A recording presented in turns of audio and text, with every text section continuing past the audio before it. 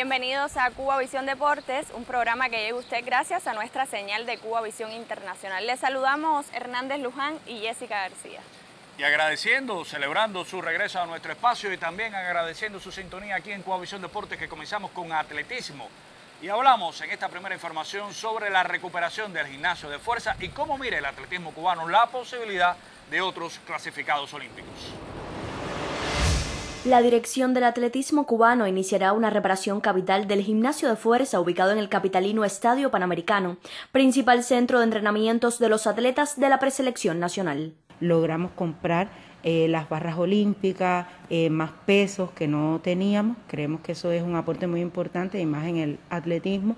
Todas estas cosas deben estar llegando aquí a Cuba eh, a principios de agosto o a finales de julio. Esperemos que todo este proceso que estamos nos permita sacarlo lo antes posible. El proceso se une a las inversiones ya realizadas en la pista de calentamiento, un colchón original de pértiga y uno de salto de altura.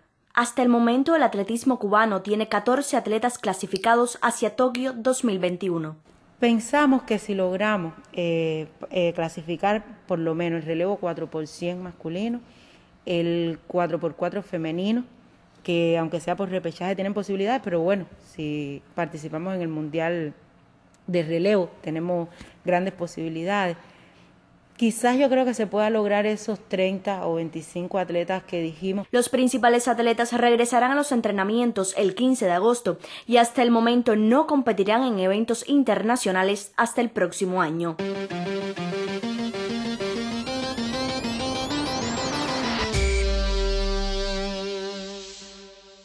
La talonista Yargelis Rodríguez está lista para buscar su boleto olímpico. Juan Osorio, jefe técnico del atletismo cubano, así lo confirma a nuestra revista deportiva.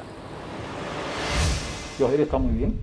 Realmente eh, es de los casos puntuales que creo que el, posponer los juegos realmente a ella le, viene muy bien porque es un tiempo más para terminar su rehabilitación, su recuperación, que ya estaba bastante bien, pero no es lo mismo ir a competir en mayo, porque ya tenía todo, tenía que hacerlo en Goxi o se quedaba prácticamente fuera, y ahora tiene un tiempo más para eh, recuperarse, entrenar al nivel que ella lo hace, y estoy convencidísimo de que con la sapiencia de su entrenador y el empuje y la voluntad y a lo que ella nos tiene acostumbrado, Yojeri va a estar con nosotros en los Juegos Olímpicos sin ningún tipo.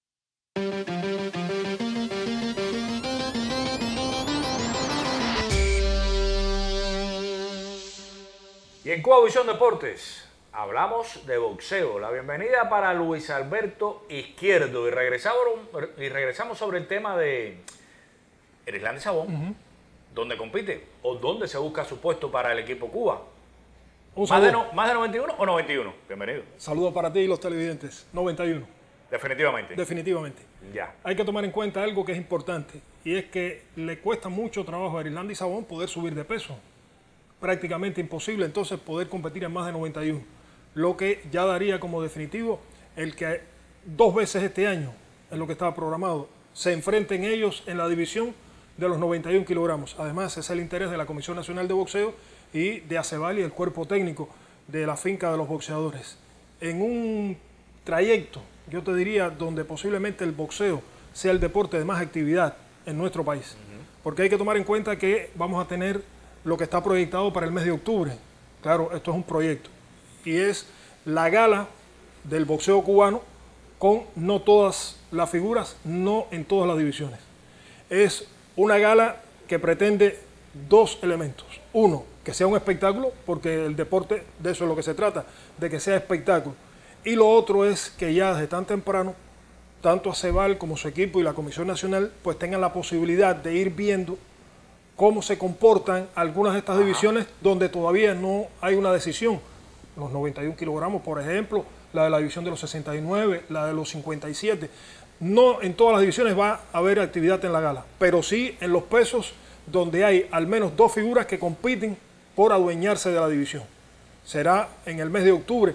Antes, por supuesto, se espera que ya a partir del día 15 de este mes se agrupe parte, no va a ser en su totalidad. de agosto el 15 de este, mes, de este mes. ¿De julio? De julio, sí. ¿Sí? Se eh, agrupe parte de la preselección, sobre todo las, figuras que más posibilidades tienen de obtener un puesto para el, el preolímpico.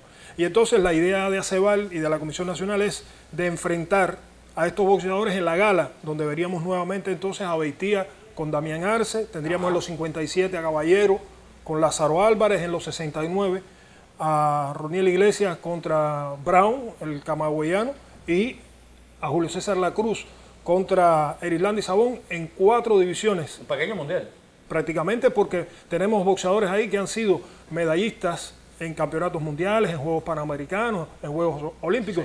Y entonces ya tendrían un primer paso, te decía, tanto Cebal como su cuerpo de entrenadores y la Comisión Nacional, porque un segundo vendría en el mes de diciembre, en el Campeonato Nacional de Boxeo Playa Girón, y entonces ya todos estos combates le darían eh, un elemento mayor para que pudieran decidir quiénes entonces irían en enero a la base que está proyectada para un país en Asia y después definitivamente entonces Ah, quiénes se harían cargo de cada una de estas divisiones para el preolímpico.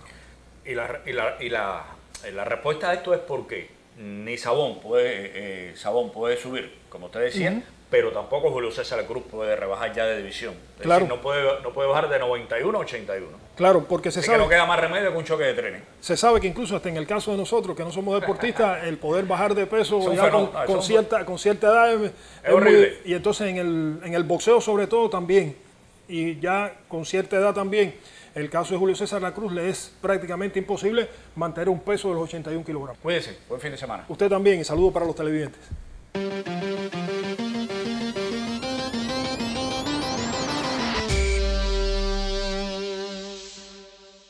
Tras una histórica campaña, Jacier Rivero está listo para renovar con el Burgos y proseguir su ascenso en el baloncesto internacional. Así lo confirmó vía WhatsApp a la periodista Romari García Sánchez. Jaciel Rivero desde ahí anotó el triple, hace la finta, Joan Sastre y se come la Se lo lleva a casa, qué mate del cubano. Después de un 2019 con participación solo en la Champions, el ala pivot cubano Jaciel Rivero comenzó a tomar protagonismo en la Liga Andesa en enero de este año con el club español San Pablo Burgos.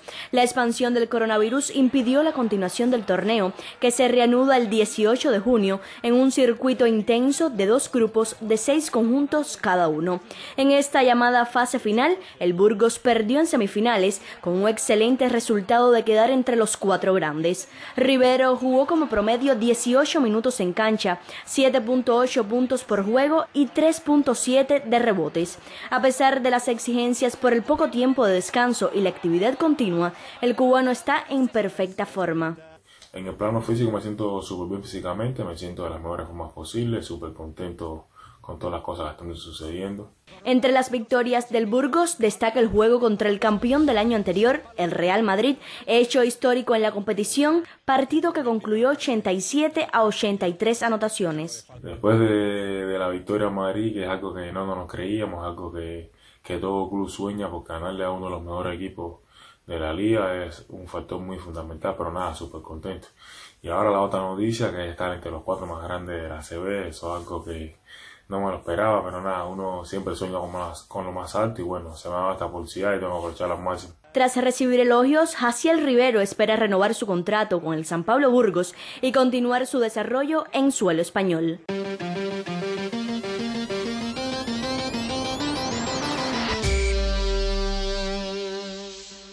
Cuba Visión Deportes eh, proseguimos y lo hacemos con béisbol. La bienvenida para Renier Batista. Bueno, de última hora, Ariel Martínez ha realizado su debut este fin de semana en Japón, el receptor matancero. Así es, el saludo para usted, para el resto del colectivo y para todos los que nos ven a través de Cuba Visión Internacional. Una excelente noticia, Luján. Sí. Se había anunciado en esta semana que Ariel Martínez ya formaba parte del roster de 70 de, de su equipo, los Dragones de Chunichi, y en la jornada de este viernes ha debutado Ariel Martínez, solamente tuvo un turno al bate, fue ponche, pero ya llegó al más alto nivel, que es lo más importante para él en este inicio, porque había estado bateando un mundo en las granjas, que es como se le llama el sistema de ligas menores en Japón, y ahora, bueno, ya está en el equipo grande, ya comienza a, topar con este nivel y evidentemente esto va a hacer que crezca muchísimo el caso de Ariel Martínez, porque lo habíamos comentado en otros, en otros momentos, que a veces jugar en las menores es muy complicado, porque son muchos peloteros en el sistema de ligas menores y poder encontrar partidos es eh, extremadamente difícil. Sin embargo, ya cuando tú estás en el equipo grande, claro, no significa que ya vaya a jugar ni mucho menos de inmediato, pero ya va, a ir conociendo, digamos, cómo es la dinámica, cómo está este nivel, en los lanzadores que verá van a ser de mayor calidad. Así que yo creo que de las mejores noticias que se pueda tener en esta semana en el mundo del béisbol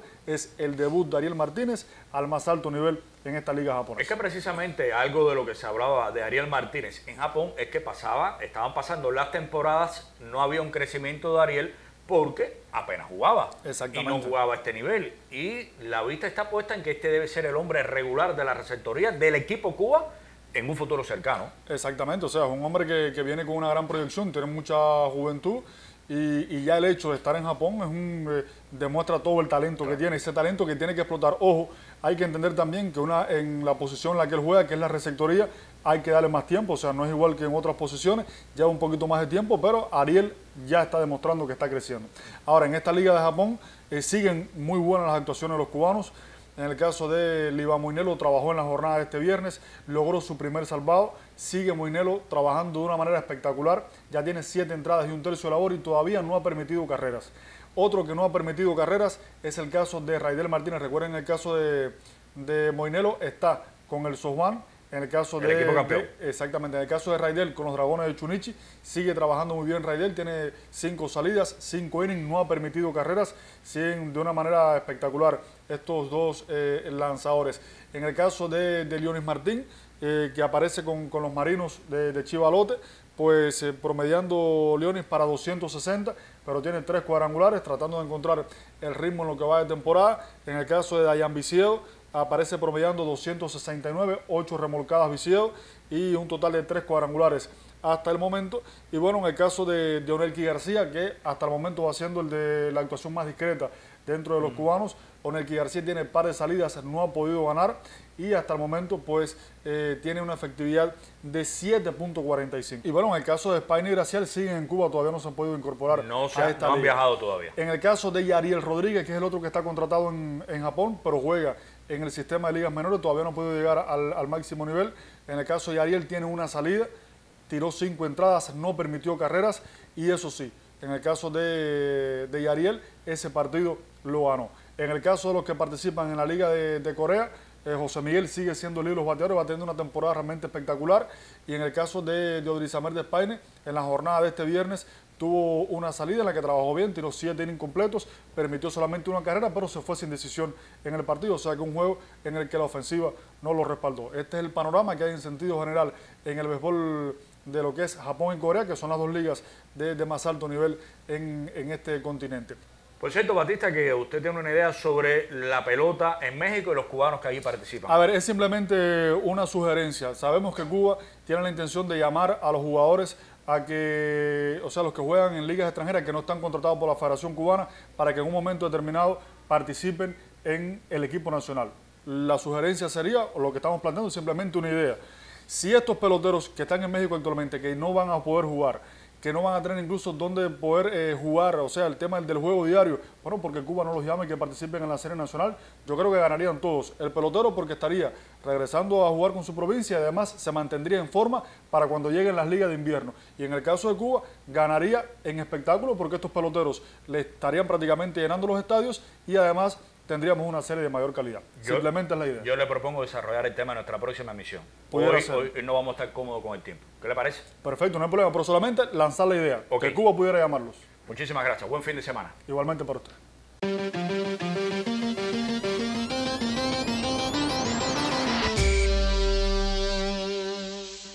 Y en Cuba Visión Deportes, como prometimos en nuestra pasada emisión, llega Olier Rodríguez, comisionado nacional de fútbol, con informaciones la actualidad de este deporte. Bueno, Oli, era conocido que el fútbol cubano tenía cuatro variantes de renovación para el campeonato nacional, para continuar el campeonato nacional. Sin embargo, no fue posible aplicar ninguna. ¿Por qué? Eh, bueno, Luján, buenos días. Encantado, bueno, darte las gracias por estar acá con usted y poderle explicar a la población eh, un grupo de elementos que se tomaron en cuenta para para el Campeonato Nacional de Fútbol. Recordar que Cuba eh, tiene una política social importante y a ella nos debemos. Y el tema de la COVID ha sido un tema que ha golpeado a todas las naciones, específicamente a Cuba, que también ha tenido que tomar sus medidas para enfrentar la COVID. Y esto ha respondido a bueno, la política también que ha desarrollado el organismo nuestro de bueno, reestructurar sus elementos económicos, su planificación de, del 2020 y dentro de ella, bueno, eh, como explicó el presidente del INDE, eh, dentro de lo que se quedaba de año, en el 2020, se priorizaron cuatro deportes estratégicos para sus campeonatos nacionales y bueno, el béisbol, que la 60 serie era importante. Dentro de ellos no estaba, no estaba el fútbol y evidentemente eh, responde a, bueno, a esa estrategia del deporte cubano y para el fútbol es un handicap eh, no poder terminar una liga que hacía un año habíamos reestructurado nuestra estructura, para que la redundancia es nacional para la liga de fútbol, y no poderla terminar fue una decisión difícil, eh, pero atemperada a las realidades del país y bueno, eh, respondiendo a la estrategia del deporte cubano. Nosotros evidentemente estuvimos afectados, tuvimos que tomar una decisión, igualmente el tema del campeón, no, no declarar un campeón, evidentemente con la cantidad de juegos desarrollados en, esa, en torneo de clausura era muy difícil poder otorgar un campeón y más con la estructura que estaba prevista en el, reglamento del campeonato. Eh, consideramos las propuestas también que hizo la prensa, creamos un grupo de, de WhatsApp donde interactuamos con la prensa, nos parecía muy importante esto, ese canal que usted mismo había propuesto, que hubiera más comunicación con la, con la prensa y ahí también escuchamos sus comentarios, sus criterios y con especialistas también de nuestras áreas, con organización deportiva, eh, se decidió bueno, no, no otorgar el campeonato a, ningún representante, pues la estructura no lo permitía. No obstante a eso, consideramos que eh, son equipos que hay que reconocerle su, su mérito, tanto en las estadísticas globales como en las estadísticas individuales, casos de goleadores, etcétera. Nosotros para las estadísticas vamos a considerarlo, eh, es un tema que hay es una preocupación, y, pero sí fue difícil tomar esa, decisión, pero eh, vamos a respetar todos estos elementos para un posible eh, torneo futuro. Entonces, Olié, definitivamente no hay posibilidades de que el campeonato nacional se pueda reanudar.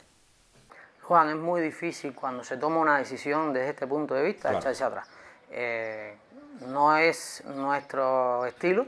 Cuando tomamos una decisión la tomamos bien pensada, bien consultada, evaluando todos los escenarios y eso no tiene sentido. Terminar o reanudar esto con todas las propuestas que se han hecho en su momento. Tuvimos entre cuatro y siete variantes para culminar el, este torneo, pero esto no es posible, no hay marcha atrás en este elemento, ya se definió que este torneo queda eh, sin campeón y queda evidentemente suspendido. ¿Y las estadísticas válidas? Y las estadísticas válidas. Es un tema que para que la población también esté contenta, porque hay un sacrificio, de, nunca se va a estar contento, es una realidad. Pero es un sacrificio que hicieron las provincias, eh, el gasto económico fue importante, la preparación de los equipos, los atletas, y esto hay que reconocerlo, de alguna forma. Ajá. Sin embargo, ha trascendido que se trabaja ya en una propuesta o ya se le hizo llegar una propuesta al INDER para que en noviembre comience el torneo de apertura del fútbol cubano nuevamente. Bueno, es un elemento que se está considerando. Volvemos al tema de nuestras políticas sociales.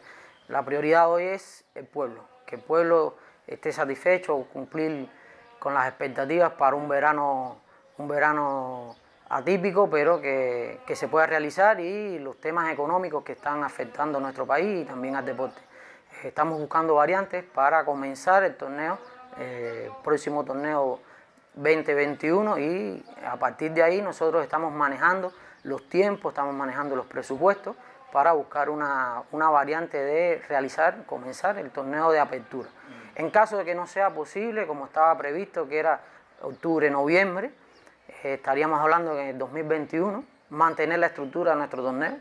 Olié, tenemos entendido que el fútbol cubano trabaja en un rediseño de toda su estrategia a comenzar a aplicar desde el mes de octubre. ¿En qué consiste esto? Bueno, eh, tendríamos que buscar variantes de nuestro torneo por el tema tiempo.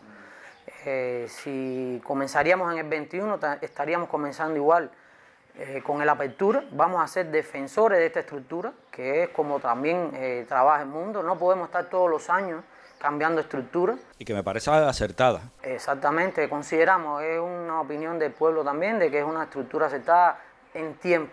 Dependemos también del escenario internacional. En el 2021 van a realizarse muchas competiciones, todas las que se suspendieron en el 2020, tanto eliminatorias de Copas de Oro como eliminatorias mundialistas, y donde Cuba también va a estar a su nivel, eh, compitiendo internacionalmente en un escenario bien complejo y que también ese torneo de apertura y clausura tiene que tributar a esta participación nuestra internacional. En cuanto a la estructura del torneo, eh, vamos a mantenerla. Eh, consideramos que debemos mantener nuestra estructura que recientemente se había aprobado, ya llevado un año y tanto. Y a pesar de que se comience en enero, tenemos que también tener en cuenta lo que recientemente hizo la Federación Internacional de reprogramar todo lo que es eliminatorias mundialistas, de CONCACAF, varió el tema de la cantidad de días que le, le permite en la fecha FIFA para convocar a los jugadores. Y bueno, en esa estructura ah, se corrió eh, la fecha FIFA de septiembre, de, octubre, para las confederaciones, para las distintas confederaciones, y nosotros tenemos que también atemperarnos a esa, a esa nueva estructura que va a funcionar en el 2021. A partir de eso, tributa nuestro campeonato, nuestra Liga Nacional de apertura y clausura a estos eventos y nosotros vamos a tratar de respetar lo que hicimos en un principio el año pasado, jugar la apertura a menos una vuelta y el clausura como estaba establecido. Tendremos que jugar miércoles y sábado, es, una de las variantes, pero respetar la estructura. Queremos respetar la, estructura de la Liga Nacional de Fútbol. Bueno, tengo entendido que el fútbol rediseña su estrategia, nivel de consultas, eh, revisando un, grupo de, aspectos importantes para su desarrollo cercano. Bueno, Luján, nosotros evidentemente tenemos que atemperarnos al mundo. El, fútbol necesita una evolución, nosotros lo hemos eh, hablado así, el mundo ha ido variando y nosotros también con él. Uno de esos ha sido la Liga Nacional de Fútbol, pero consideramos que nos quedamos cortos. La estrategia nuestra a mediano y a largo plazo tiene que ser sólida y una de las acciones es hacer una consulta popular. Una consulta que vamos a recorrer todo el país, vamos a ir provincia por provincia, conversar con el pueblo, con, con las autoridades, con los especialistas, que es muy importante, que conocen dónde están nuestras debilidades, rescatar eh, elementos que se puedan haber hecho con anterioridad y dieron resultado en su momento, a pesar de que los tiempos han cambiado. Y bueno, rescatar todas esas opiniones y hacer un estudio de, qué acciones debemos nosotros retomar o rediseñar y a partir de ahí eh, trazar una estrategia para el fútbol cubano en los próximos 10 años, en todos los sentidos. Estamos abiertos a todos los criterios. Eh, somos una generación nueva, vamos a decirle así, de funcionarios que debemos tributar al pueblo y que necesitamos la sapiencia de todos para mejorarlo. Es un deporte que va ganando eh, en la población, aficionados, críticos, como decimos nosotros, hasta la suegra nuestra dan ya y siguen al fútbol y eso hay que reconocerlo y hay que bueno, plantearnos nuevas estrategias. En principio estamos evaluando la primera quincena de octubre hacer este recorrido nacional, hacer este estudio y bueno, presentarle a nuestro organismo y al país una nueva estrategia que potencie nuestro desarrollo en sentido general. Nuestro máximo objetivo es llegar nuevamente a un mundial, eh, mantener el nivel de fútbol sala, potenciar el femenino, eh, ganar en estructura desde la base. Eh, como mismo estamos afectados en otros aspectos, el tema de los terrenos, el tema de los métodos de entrenamiento, aunque ya hay muchas de estas cuestiones que estamos adelantando, como el plan de preparación de deportistas, reevaluándolo, la licencia de entrenadores, que es obligatorio para poder dirigir tanto nacional como internacionalmente, que próximamente vamos a desarrollar. Quiere decir que tenemos que hacer un grupo de acciones ahí eh, en todos los sentidos para perfeccionar el funcionamiento del fútbol y que bueno, de nuevos saltos. Hay una ayuda importante por parte de, FIFA, con más de un millón y medio de dólares eh, por el tema de la COVID. ¿Cómo se va a reestructurar esto? ¿Cómo va a ser aprovechado por el fútbol cubano? Sí, Luján, eh, como parte del trabajo de, FIFA para las federaciones para las federaciones de cada uno de los países hay una ayuda económica que eh, a raíz de la COVID y un, fondo que bien había desarrollado la FIFA Este presupuesto eh, asignado a las federaciones tienen objetivos específicos de rescatar a las federaciones por todas las afectaciones. Esto ya se evaluó con parte de la, con el Consejo de la, de la Federación Cubana de Fútbol y la estrategia que también responde a esto. Se están evaluando dónde, en este sentido, dónde dirigir este presupuesto que tiene también requisitos a cumplir. Por ejemplo, un 50% de este presupuesto tiene que estar dirigido específicamente al desarrollo del fútbol femenino, una especialidad que en Cuba eh, ha estado afectada por el tiempo. Evidentemente llevamos dos campeonatos nacionales sin poderlos ejecutar, se suspendió ahora este eh, del 2020 y tiene que ser dirigido ahí. Por tanto, y además eh, estamos evaluando esta situación, confirmarle a nuestro pueblo que ese dinero es íntegro para el deporte de, fútbol, no se coge para ningún otro deporte. La, son requisitos que las auditorías de la Federación Internacional eh, exige y nosotros hemos cumplido por más de 20 años esos requisitos y no va a ser variado en estos momentos. Por tanto, además, estamos pensando en fortalecer el campeonato nuestro nacional con las condiciones de vida de nuestros atletas, eh, las estructuras de los estadios nuestros que necesitan de un apoyo financiero grande, la Liga Nacional de Fútbol Femenino, la Liga de Fútbol Sala, quiere decir que eh, en ese sentido van a ir, así como la adquisición de medios auxiliares como los balones, porterías auxiliares, eh, conos, etcétera, etcétera, para seguir fortaleciendo nuestro campeonato nacional y bueno, nuestras ligas de fútbol. Bueno, Lía, te agradezco eh, esta exclusiva para Cubavisión Deportes de Cubavisión Internacional. Creo que son noticias positivas para el fútbol cubano. un deporte que yo sigo pensando, como hemos dicho en nuestro espacio, que con todo el apoyo requerido por parte de todas las instituciones del país, que se cierren filas alrededor del fútbol pues estoy seguro que, gana la, masividad, gana el deporte cubano, gana la economía cubana, gana la sociedad cubana y gana el fútbol cubano. Bueno, Lugar, muchas gracias por venir acá, eh, nosotros intercambiar y estar convencidos que nosotros vamos a trabajar y nos vamos a dedicar 100% a que mejore el fútbol en, en, lo que estemos nosotros trabajando en, en esta esfera. Muchas gracias.